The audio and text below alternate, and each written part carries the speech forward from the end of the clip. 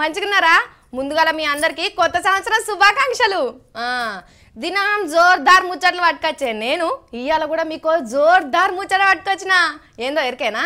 మన తెలంగాణ పిసిసి అధ్యక్షుడు ఉన్నారు కదా ఉత్తమ్ సార్. ఉత్తమ్ సార్ వాళ్ళు ఇంటామని పట్టుకొచ్చిన. చూపిస్తా మీకు. సడరీ. నమస్తే అక్క. నమస్తే. మంచిగున్నారా? బాగున్నా మీకు కొత్త. సంవత్సరం శుభాకాంక్షలు. థ్యాంక్ యూ మీకు కూడా. మిమ్మల్ని కొత్త సంవత్సరంకు తీసుకొని వచ్చిన కదా? ఇక్కడ నుంచి సురు చేద్దాం. మీరు చిన్నప్పుడు కొత్త సంవత్సరం ఎట్లా జరుపుకున్నారు? చిన్నప్పుడు. ఫిఫ్త్ క్లాస్ నుంచి నేను హాస్టల్లోనే ఉన్నా.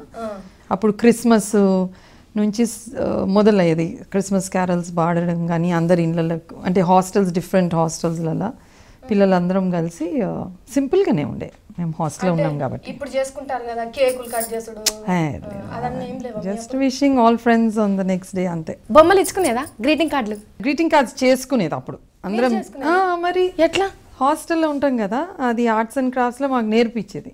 సో అన్ని డ్రాయింగ్లు అవి లేదా ఈ పూలై బుక్లలో పెట్టి అతికి దాంతో డిజైన్లు అట్లా చేసి ఇచ్చేది మన టీచర్లకు ఫ్రెండ్స్కు సీనియర్లకు అంతే. మీరు ఇంతకుముందు హాస్టల్లో ఉన్నామని చెప్పేసి అన్నారు కదా? మీరు హాస్టల్లో ఏంది? ఎందుకున్నారు? ఎందుకు మా అమ్మ నాన్న పెట్టిండ్రు? సో ఉన్నా. అమ్మ నాయన ఏం చేస్తుండే? అమ్మ నాన్న ఫారెస్ట్ డిపార్ట్మెంట్లో పనిచేస్తుండే సో అన్ని ఎక్కడ పోస్టింగ్ అయినా ఇంకా అడవులు. సో చిన్నప్పుడు చదివిన ఎక్కడ అమ్మ వాళ్ళు ఉంటే కానీ తర్వాత ప్రతి మొత్తం ఆంధ్రప్రదేశ్లో ఇక్కడ నుంచి అక్కడి నుంచి పోతుంటే languages first language second language కూడా తేడా ఉంటే మాట మాటి స్కూల్ బదలాయించాలి. అందుకు అవన్నీ ఎందుకని అమ్మ ఒక స్కూల్ చూసిండే అందులోనే ఉండాలి నా పిల్లలు అని అమ్మ అనుకున్నది. సో చిత్తూరులో ఒక స్కూల్లో హాస్టల్లో వేసిన అనమాట చిత్తూరులో చదువుకున్నారు. అమ్మ ఇంట్లోనే ఉంటుండేనా? అంటే ఇక మీకు ఈ బస్సులు ఆటోలు అట్లా ఏం డిస్టర్బెన్స్ ఉండేది కావద్దు కావచ్చు. చాలా మంచి ఎన్వైరన్మెంట్లో వేసిండ్రు మా అమ్మ నాన్న. దానికి నేను ఎప్పుడు రుణపడి ఉంటా అమ్మకు నాన్నకు. మీరు ఎంతమంది ముగ్గురు ఆడపిల్లలము. ముగ్గురు ఆడపిల్లలేనా? మేము కూడా ముగ్గురం ఆడపిల్లలం. వెరీ గుడ్ హ్యాపీ పేర్లు ఏం పేర్లు? నా పేరు పద్మావతి. నా తర్వాత అమ్మాయి పేరు మాధవి. దాని తర్వాత అమ్మాయి పేరు మేఘన. మీరు ఇంట్లో పెద్ద అయితే ఎంతవరకు చదువుకున్నారు? అంటే హాస్టల్లో హాస్టల్ ఎంత హాస్టల్ పదో క్లాస్ వరకు. తర్వాత ఇంటర్మీడియట్ నాన్న మళ్ళా పోస్టింగ్ అయితే ఇంజనీరింగ్ అప్పుడు లోకల్ నాన్ లోకల్ ఏ యూనివర్సిటీలో చదివితే అక్కడనే ఇంజనీరింగ్ రాలని ఉంటే నాన్న కడపల పోస్టింగ్ ఉండే. సో కడపలో చేసిన రెండేళ్ళు జూనియర్ కాలేజ్. దాని తర్వాత జేఎన్టీయూ ఇంజనీరింగ్ ఇంకా వచ్చి ఇక్కడ జాయిన్ అయిన ఆర్కిటెక్ట్ చిత్తూరులో పదో తరగతి వరకు చదివిండ్రు? కడపల రెండేళ్ళు. చదివి ఇంటర్ రెండేళ్ళు. చదివిండ్రు ఇక్కడ ఐదేళ్ళు. జేఎన్టీలో ఇంజనీరింగ్ కంప్లీట్ చేసిండ్రు? Architecture branch so I'm an architect ఇల్లు గీస్తా చూడు. ఇల్లు బిల్డింగ్లు గీస్తా. డిజైన్ డిజైన్ చేస్తారు. మరి మీరు పెద్ద కాలేజీలో చదువుకున్నారు కదా జేఎన్టీ అని? దాంట్లో మీ సీనియర్ వాళ్ళు మిమ్మల్ని ఏమైనా ర్యాగింగ్ చేసేదా? ఫస్ట్ ఇయర్ ర్యాగింగ్ ఉండేది. అంటే ర్యాగింగ్ కూడా మంచిగా చేస్తే it's like an ice breaker అంటే కొత్తగా పోతే బెదురు బెదిరి ఉంటారు. సీనియర్స్ అందరూ మిమ్మల్ని మాట్లాడించడంలో కొన్ని భయాలు దూరం చేయడంలో వాళ్ళు హెల్ప్ చేస్తారు. If it is a good ragging నేను కడప నుంచి వచ్చిన కదా అందరు నేను ఆంధ్ర భాష మాట్లాడుతా అనుకున్నారు. ఏడ చేసినావు జూనియర్ కానీ కడప అంటాం. సో ఇక నేను అటు దిక్కామని అనుకున్నారు. సరే అది కొంచెం చూసినాక ఏదో తేడా ఉంది ఇది జాక్ అండ్ జిల్ పోయం హిందీలో చెప్పు అంటారు జాక్ అండ్ జిల్ సో, ఇక తెలంగాణ భాషలు చెప్పు అంటారు ఇక ఇదంతా అట్లా కొన్ని ఫన్నీ సందర్భాలు నాకు గుర్తున్నాయి. So it was a good friendly ragging ఏమన్నా అర్థం కాకపోయినా చెప్పేది సీనియర్స్ జస్ట్ దట్ వన్ మంతే కదా? వన్ మంత్ అవును. తర్వాత ఏంది? సీనియర్స్కు సెల్యూట్ చేయాలి. అట్లా హార్మ్లెస్ రాగి సో పోయేటప్పుడు అంత వాళ్ళు నిలబడితే అందరికి సెల్యూట్ చేసుకుంటే పోయేది. ఆ నెల రోజులు. అప్పటి దోస్తులు ఇప్పుడు ఎవరైనా కలుస్తారా మీకు? ఈ మధ్యనే యాక్చువల్లీ ఒక ఇరవై ఐదు ఏళ్ళు అయినాక మొన్న మొన్న కలిసినాం అందరినీ. అంటే పెళ్ళిళ్ళు అయ్యి అందరూ వాళ్ళ వృత్తులకి ఎక్కడ దేశం అంతా వెళ్ళిపోయినారు అక్కడిక్కడ పెద్ద చదువులకి.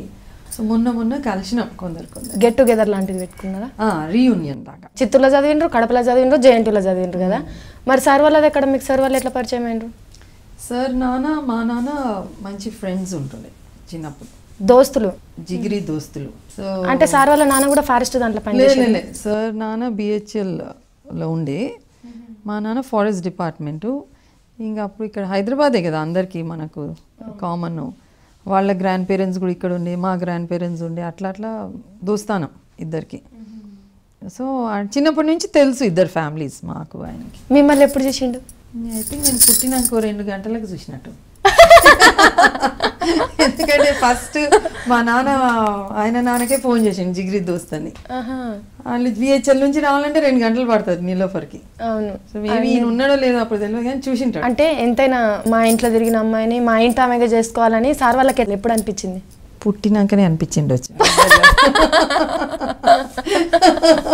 అవును దోస్తులు అయితే అనుకుంటారు కదా నాకే అట్లనే. కానీ పెళ్ళి ఏప్రిల్ ఫస్ట్ నాడు అయింది సో ఎవరు. పెళ్ళి డే ఏప్రిల్ ఫూల్స్ డే అని. అది ఎట్లయిందంటే అప్పుడు సార్ ఏడీసీగా ఉండే ప్రెసిడెంట్ దగ్గర. సో సార్కి లీవ్ ఇవ్వాలంటే ప్రెసిడెంట్ ఆఫ్ ఇండియానే ఇవ్వాలి ఇక ఈడనేమో నా ఎగ్జామ్స్ అవుతుండే జేఎన్టీయూలా అప్పుడు యూనివర్సిటీ బార్ బార్ పోస్ట్పోన్ చేస్తుడు కదా ఏదో ఒకటి అని ఎగ్జామ్లు రెండు సార్లు పోస్ట్పోన్ అయింది ఎగ్జామ్ డేట్. ఇక ఎన్నిసార్లు నేను ప్రెసిడెంట్ ఆఫ్ ఇండియాని తీసుకుపోయి లీవ్ లెటర్ అడుగుతా ఇదేంది టూ మచ్ అని వచ్చేసిండు. అయ్యా. వస్తే ఇంకా ముహూర్తం కూడా వెళ్ళింది అట్లనే ఏప్రిల్ ఫస్ట్ అని. అదొక సండే ఉండే. అరే. ఇక నేను మళ్ళీ పోస్ట్పోన్ అయినాయి సో సాటర్డే ఎగ్జామ్ ఉండే మండే ఎగ్జామ్ ఉండే. ఇక నేను చేసుకున్నాను సండేనే ఇక పెళ్ళి చేసుకొని తెల్లారే. వెళ్ళరా? ఓ. పెళ్ళి కంటే ముందు రోజు ఎగ్జామ్ రాసిన తర్వాత ఎగ్జామ్ రాసిన. కానీ ఆ డేట్ అట్లా ముహూర్తం వెళ్ళింది ఎవరు ఇప్పటివరకు నమ్మరు. ఏప్రిల్ ఫస్ట్ అంటే వీళ్ళు ఏదో జోక్ చేస్తారు అనుకుంటారు సార్ను పెళ్ళి చేసుకోక ముందు ఎంత సంపాదించేటోళ్ళు? నేనా? నేను కాలేజ్లో ఉన్నా కదమ్మా. కాలేజ్లో ఫైవ్ ఇయర్ కోర్సు అది కాగానే పెళ్ళి ఇంకా సార్ ఎంబడి ఢిల్లీకి పోయినా. అప్పటి నుంచి పని చేస్తున్నా. అప్పటి నుంచి డిజైన్లు చేస్తారా? ఈ ఇల్లు మీరేనా డిజైన్ చేసుకున్నారు ఇది లేదమ్మా ఇది రెంటెడ్ ఇల్లు. A- కానీ మస్తు. అది లోపల నేనే చేసుకున్నా. లోపల డిజైన్ ఇంటీరియర్స్ కూడా చేస్తా కాబట్టి లోపల డిజైన్. మీరు చేసుకున్నప్పుడు సార్ పదవి ఏంటిది? తను ఏడీసీ ప్రెసిడెంట్ ఆఫ్ ఇండియా దగ్గర ఆ యూనిఫామ్ వేసుకొని ఉంటారు చూడు ఆ, ఎయిర్ ఫోర్స్ ఆర్మీ నేవీ నుంచి నేవీ నుంచి ఉంటారు. ప్రెసిడెంట్ వెనక కనిపించారా ఇద్దరు ఎప్పుడు యూనిఫామ్ అవును అట్లా. ఉండే. తర్వాత ఇంకా మళ్ళా అదే రాష్ట్రపతి భవన్లో కంట్రోలర్గా పోయిండు. తర్వాత ఇక రిజైన్ చేసి పాలిటిక్స్ లెక్ దిగిన. విమానాలు? విమానాలు అంతకంటే ముందు ఎగిరిచ్చేది యాక్టివ్ ఫ్లైంగ్ పైలట్గా ఉండేది. ప్రెసిడెంట్ గారు మన సేనాకి అధిపతి కాబట్టి వారి రక్షణ కోసము top guys from army air force and navy నుంచే ఖుద్ ప్రెసిడెంట్ చూస్ చేస్తారు. ఐదుగురు. ఐదుగురిని సో అప్పటికి వాళ్ళు యాక్టివ్ ఫ్లయింగ్లో ఉండాలి. యాక్టివ్ పైలట్గా ఉండాలి. మ్మ్. యాక్టివ్ కమాండర్గా ఉండాలి. నేవీలో కానీ యాక్టివ్ జనరల్ ఐ మీన్ ఆర్మీలో. ఉండాలి కెప్టెన్ లాగా. వాళ్ళనే ఎంపిక ఎంపిక చేస్తారు. మరి చిన్నప్పటి నుంచి తెలుసు కాబట్టి లెటర్లు అట్లాంటిది రాసేదా? అప్పుడు ఇక సెటిల్ అయినాక తను అక్కడ పోస్టింగ్ ఉండే. ఇక్కడ ఆదంపూర్ అని పంజాబ్లో. నేను ఇక్కడ చదువుతున్నా. సో అఫ్ కోర్స్ అప్పుడు కమ్యూనికేషన్ ఛానల్ లెటర్సే కదా? అఫ్ కోర్స్ రాసింది రాసిండ్రా? ఫస్ట్ ఫస్ట్ ఏమని ఏం రాశారు? నువ్వు చాలా ఇష్టం అని రాసిండా? మరి? ఫస్ట్ ప్రపోజ్ చేసిండు. చేసిండు చేసిండు. ఇంటికి వచ్చినప్పుడు మిమ్మల్ని బయటికి తీసుకుపోయినరా లేదు. ఏది టైం ఏంటి ఉంటుంది? పైలట్స్కి అవన్నీ. ఒక్క రోజున లీవ్ ఏం లేదు అట్లా ఏం లేకుండా చాలా సిన్సియర్ ఆఫీసర్ ఉండే. పనితనంలో సిన్సియర్ ఓకే కానీ మేడం బయటికి. ఉండాలి కానీ అవన్నీ అప్పుడు మాకు కూడా అట్లా ఏం లేకుండా. ఎందుకంటే ఎప్పుడు తెలుసుగా చిన్నప్పుడు నేను తెలుసు. అంతేనా ఇంకా. వ్రతం గిట్లా చేసుడు ఏం లేదు అసలు నేను సారు కొంచెం అప్పుడు చాలా ఐడియలాజికల్గా ఉండేది. మనము ఎక్కువ హంగు డంగు ఉండొద్దు పెళ్ళికి అది ఇది అని జస్ట్ మన ఫ్యామిలీ మెంబర్స్తో పెళ్ళి చేసుకున్నాం పొద్దు ఆర్య సమాజ్. ఎందుకంటే మనకి ఇద్దరికి తెలుసు కామ్గా చేసుకున్నాం అనుకొని సింపుల్గా చేసుకున్నాం పెళ్ళి సాయంత్రం కొందరికి ముఖ్యులకు డిన్నర్ ఇచ్చినాం అంతే. అప్పుడు సార్ పని చేసినప్పుడు రాష్ట్రపతి ఎవరు మేడం? అప్పుడు వెంకట్రామ తర్వాత శంకర్ దయాల్ శర్మ గారితో కూడా కొన్ని ఏళ్ళు పనిచేసింది సార్. ఇప్పుడు జాబ్ వద్దనుకొని చెప్పేసి రాజకీయాల్లోకి వచ్చింది అప్పుడు మీరు ఏమన్నా చెప్పిండ్రా అంటే ఈ దీంట్లో ఉంటే మనకి ఇంత మంచిగా ఉన్నది కదా అందరు వస్తున్నారు. అందరు వస్తున్నారు రెస్పెక్ట్ కూడా ఆ విధంగా ఉంటుంది కదా. అరే ఉత్తమ్ ఇంత మంచి ఉద్యోగం ఉందని అందరు పెద్దలు చెప్పినారు. వదులుకోకు రాజకీయాలు అంత మంచిది కాదు అని మనకి చిన్నప్పటి నుంచి నేర్పిస్తుంటారు అంటుంటారు. లేని కూడా ఎత్తిపోస్తూ ఉంటారు కదా మేడం సారు ఏంటంటే చిన్నప్పుడే నేను దేశ సేవకు పోవాలని ఎయిర్ ఫోర్స్లోకి వెళ్ళిపోయా. చిన్నప్పుడే ఆయన ఫిఫ్టీన్ ఇయర్స్ ఉన్నప్పుడే. దేశ సేవ బాగా ఉంటుంది సార్కి దేశానికి పోరాడాలి దేశ సేవలో పోవాలని ఆర్మీలోకి వెళ్ళిపోయాను పెద్దగా అయినాక సరే ఇక పైలట్ యాక్చువల్ ఫ్లయింగ్ తక్కువైంది కదా ఈ వేరే పదవులకు వచ్చినాక యాక్టివ్ ఫ్లయింగ్ సరే సీనియారిటీ ఇలా రాష్ట్రపతి భవన్లో ఉంటే ఐఎమ్ నాట్ అ పైలట్ కదా సార్ ఇక్కడ చేస్తున్నా. అంటే ఇక మరి ప్రెసిడెంట్ గారేమో ఆయన నుండి వేరే పని చేయమన్నారు. సో మరి ఇక్కడ ఉంటే ఇక మనం ఇక దేశానికి రియల్లీ సేవ చేస్తలేం కదా. మళ్ళీ ప్రజలలో పోయి ఆ పాలసీస్లో కానీ మనం ఉన్న కాన్స్టిట్యున్సీని మంచిగా చేస్తే దేశం బాగుపడుతుందనే ఆలోచనతో మళ్ళీ సరే రాజకీయాలలో కన్నా పోదామని ఇట్లాంటి సేవ చేద్దామని త్రూ రాజకీయాలే కదమ్మా. ఇక వేరే దిక్కు చేయలేము కదా. చేయలేరు. అని అట్లా ఆలోచన వచ్చి ఇక నాకు చెప్పినప్పుడు నేను అన్న సరే నేనైతే ఆర్కిటెక్ట్ను నేను మా అమ్మ నాన్న చదివిచ్చిండ్రు. ఐ కెన్ సపోర్ట్ యూ రాజకీయాలకు వచ్చిన తర్వాత సరే సార్ అనుకున్న విధానంతో వచ్చి చేసిండ్రు. కానీ ఫస్ట్ టైం గెలిచిండ్రా ఓడిపోయినరా ఓడిపోయినాం. అప్పుడు మీకేమనిపించింది? అంటే సరే ఓటమి గెలుపు మనం నిర్ణయించుకోలేం బిఫోర్ కానీ అట్లీస్ట్ అందరికీ ఎవరైతే పోటీ చేస్తే అందరం మేము గెలుస్తామనే ఆశతోనే ఉంటాం కదా. ఆ రోజు న్యూస్ వచ్చింది మేము ఇంకా కాన్స్టిట్యున్సీలో ఉన్నాం నాకు ఇంకా గుర్తుంది. మేము. మా కార్యకర్తలు అందరం ఏడ్చినాం. అది చాలా భయంకరమైన సిచ్యువేషన్ కానీ సరే ఇక వాట్ ఎవర్ ఇట్ ఈస్ ఇంకా మళ్ళీ స్టార్ట్ చేసినాం. తర్వాత ఎప్పుడు గెలిచిండ్రు? నైన్టీ ఫోర్లో ఫస్ట్ టైం టికెట్ తీసుకొని వచ్చినాము. నైన్టీ నైన్ నుంచి ఇంకా వరుసగా గెలుచుకుంటూనే వస్తున్నారు సార్ అప్పుడు సార్ గెలిచినప్పుడు ఎవరిది నడుస్తుండే మేడం? ఏ ప్రభుత్వం ఉండే అప్పుడు? టీడీపీ పార్టీ వచ్చింది. టీడీపీ పార్టీ సరే ఏ పార్టీ నుంచి కాంగ్రెస్? నుంచి. కాంగ్రెస్ స్టార్టింగ్ నుంచి కాంగ్రెస్లోనే ఉన్నారు. మరి ఎందుకు అట్లా తెలుగుదేశం పార్టీ ఉన్నప్పుడు కాంగ్రెస్ కిందకి వెళ్ళిండ్రు సార్? అరే మనం కాంగ్రెస్ ఫ్యామిలీస్. మనకు టికెట్ ఇచ్చిందే కాంగ్రెస్ పార్టీ కదా. రాజశేఖర రెడ్డి సార్ ప్రభుత్వం వచ్చినప్పుడు తర్వాత వచ్చింది. తర్వాత వచ్చిండ్రు. అప్పుడు సార్ గెలిచిండ్రా? ఇక నైన్టీ నైన్ నుంచి వరుసగా గెలుచుకుంటున్నాం గెలుచుకుంటూనే వచ్చిండ్రు. ఫస్ట్ ఫస్ట్ ఏ నియోజకవర్గంలో గెలిచిండ్రు మేడం? ఫస్ట్ పోటీ చేసింది కోదాళ్ళని. ఓడిపోయినాం. మళ్ళీ అక్కడి నుంచే పోటీ చేసినాం. అక్కడి నుంచే మా వాళ్ళంతా ఓటేసి ఇంక వదలలేదు. మేము ఈరోజు ఇక్కడ ఉన్నామంటే మా కోదాడు హుజూర్నగర్ ప్రజలకే మేము అది అనుకోవాలి. అది ఇక అదే మా పుట్టినిల్లు అయిపోయింది. అదే ఇక నేను ఆడబిడ్డని అయిపోయినా సారు ఆ నియోజకవర్గానికి ఒక కొడుకులాగా మిగిలిపోయిండు. వాళ్ళ అంతే ఆదరణతోని ఇప్పటి వరకు కూడా సార్ మొన్న ఎలక్షన్ జరిగినది కూడా సార్ మీద ఉన్న అభిమానంతోని నన్ను కూడా ఆడబిడ్డగా స్వీకరించి నన్ను కూడా గెలిపించి పంపించింది కోదాడు.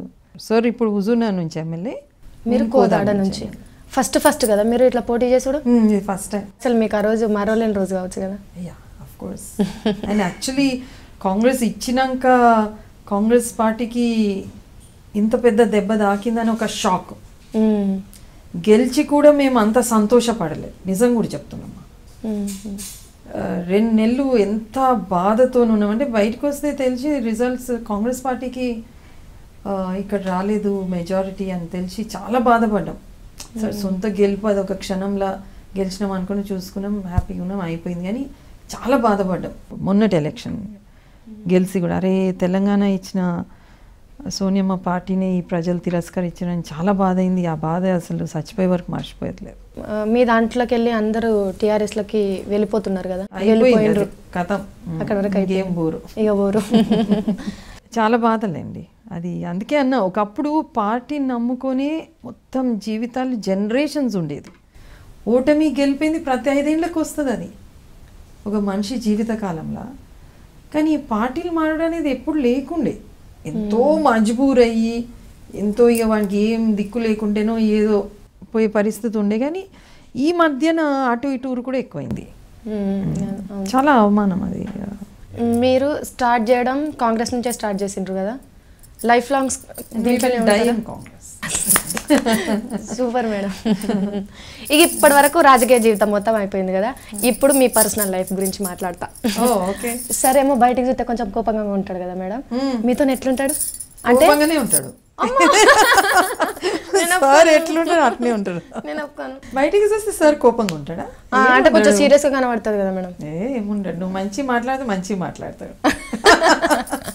మీరు వండి పెడతారా సార్కు? ఏమేమి ఇష్టంగా తింటారు? ఆగండి మేడం. మనం సార్కి ఇష్టమైన వంట గురించి మీరేమేం చేస్తారో దాని గురించి మనం వంట రూమ్లో మాట్లాడుకుందాం. ఓకే. పోదామా? ఆ, ఓకే. ఇది నా కిచెన్ మస్తు చిన్నగా ఉన్నది. మరి సామాన్ అన్ని బొగేన్లు పెద్ద పెద్ద బొగేన్లు లేవా ఎందుకు వాడు ఉన్నాయి నాలుగైదు దాంట్లో? లోపల ఉన్నాయి. దీని లోపల అయ్యో ఇది గ్యాస్ తెరువు అది డబుల్ డోర్. మొత్తం తెరువు అందులోనే అన్ని. అబ్బా సామాన్ మొత్తం బయటకు కనబడకుండా అన్నిటికీ డోర్లు వేసుకున్నారు. బీరువాళ్ళకి వేసుకున్నారు మంచిగా ఉంటాయి. ఏ పోపి గింజలు మొత్తం అన్ని పోపు డబ్బా అంతా మళ్ళీ ఊరికూరికి అన్ని డబ్బాలు తెరిచి చూడకుండా. మంచిగా ఉన్నాయి.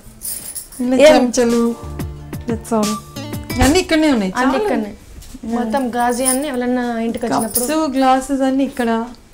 జల్దీ కావాలంటే మంచి అందుకొని ఆడ ఫ్రిడ్జ్లో దీని దాగిపోవచ్చు. మీరు ఎక్కువ కిచెన్లో గడుపుతారు అయితే? అంటే టైం దొరికినప్పుడు. అవును. ఇప్పుడు చెప్పుండ్రి సార్ ఏం తింటాడు ఇష్టంగా? సార్కి ఇట్లా ఈ fresh vegetables just mostly salads ఇష్టం సార్కి. ఏదన్నా కాంబినేషన్ తీసి చేసి పెడితే నేను చేసే మటన్ కర్రీ ఇష్టం సార్కి. బాగా తింటాడేమో కదా. ఇష్టంగా తింటారు నేను ఇట్లా అన్ని కోసి స్టీమ్ చేసి కొంచెం ఉత్త ఉప్పు కారం వేస్తే వెజిటబుల్స్ తింటారు. ఇప్పుడు మటన్ ఇష్టంగా తింటాడు కదా? వారానికి ఒక్కసారి అన్న చేస్తారా మీరు ఇంట్లో? వాటిలో మాకు టైం టేబుల్ ఉండదమ్మా. మ్మ్. ఏదో ఎప్పుడు ఉంటామో ఎప్పుడు లేమో అట్లా టైం టేబులే ఉండదు. ఇంకా ఎప్పుడు ఎక్కడో దగ్గర పోతుంటాము చేస్తుంటాం కదా. కానీ టైం దొరికినప్పుడు మాత్రం చేసి పెడతారు మ్మ్. అంటే సడన్గా అడిగితే చేసేస్తాం. అట్లా అంతా ప్లానింగ్ ఇది సడన్గా ఆ రోజు ఉండి తినవద్దు అయితే ఎవరన్నా వస్తే సడన్గా అట్లా. మీరు డిజైన్ ఇట్లా చేస్తా అని చెప్పిండ్రు కదా ఈ డోర్లు ఇట్లా మీరే పెట్టిమన్నారా? ఇంకేమేమి చేపించిండ్రు అంటే ఇవన్నీ కొన్ని చూపిస్తారా? పోదాం తాళాలు ఏమి ఉండవు నా ఇంట్లో. గాజీ అన్ని మంచిగా ఉన్నాయి మీరు ఎంత సింపుల్గా ఉన్నారో మీ ఇల్లు అంత సింపుల్గా ఉన్నది మేడం. అయ్యో. మస్తు చేసిండ్రు. ఇది చిన్న టీవీ చూడనీకి చిన్న ఏరియా ఇక్కడ. అక్కడేమో డైనింగ్. ఇది ఒక గెస్ట్ బెడ్రూమ్. ఇంకా సార్ ఆఫీస్ ఎక్కడ? సార్ కింద ఉన్నది. చూపిస్తాం. ఈ ఏరియాలో ఇల్లు పెట్టుకున్నాం. కింద కూడా ఆఫీస్. కింద ఆఫీసు. మధ్యలో ఇల్లు పైన బెడ్రూమ్. పైన ఉంది బెడ్రూమ్స్ చూద్దాం మేడం కూడా. ఇక్కడ ఇది లాస్ట్ టైం ప్రెసిడెంట్ గారు వచ్చినప్పుడు తీసిన ఫోటో ఇది. ఇది సోనియా గాంధీ అమ్మ? ఆ, సోనియా గాంధీ. ఇది మా ఆఫీస్ రూము ఇక్కడ విజిటర్స్ అక్కడ స్టాఫ్ ఇక్కడ సార్ ఆఫీస్ దీంట్లోనే కూర్చుంటాడా మేడం సార్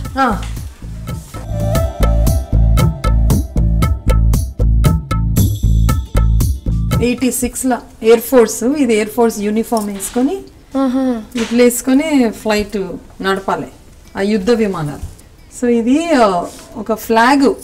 ముందర ఒక విమానానికి కట్టి పంపుతారు. ఎన్కి విమానం నుంచి వాళ్ళు షూట్ చేయాలి ఆ ఫ్లాగ్ని. పెద్ద బట్ట ఉంటుంది ఇంత పెద్దగా ఉంటుంది. అందులో సార్కు రికార్డ్ ఉన్నది. Air to air shooting. విమానం నుంచి. వీళ్ళు ప్రాక్టీస్ చేయాలి కదా. సో ఎంత బాగా టార్గెట్ షూటింగ్ లాగా అట్లా పెట్టి ఒక ఎక్సర్సైజ్. దాంట్లో ఈయన రికార్డ్ వస్తే ఈ పిక్చర్ దాంది వాళ్ళ బాసెస్ వాళ్ళు అంతా కలిసి.